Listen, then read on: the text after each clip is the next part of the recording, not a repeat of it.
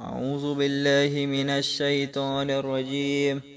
بسم الله الرحمن الرحيم. والعصر.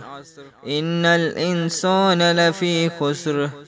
إلا الذين آمنوا وعملوا الصالحات وتواصوا بالحق وتواصوا بالصبر. بنا میں خدائے رحمان و رحیم۔ قسم ہے عصر کی۔ بے شک انسان خسارے میں ہے۔ علاوہ ان لوگوں کے جو ایمان لائے اور انہوں نے نیک اعمال کیے اور ایک دوسرے کو حق اور صبر کی وصیت اور نصیحت کی۔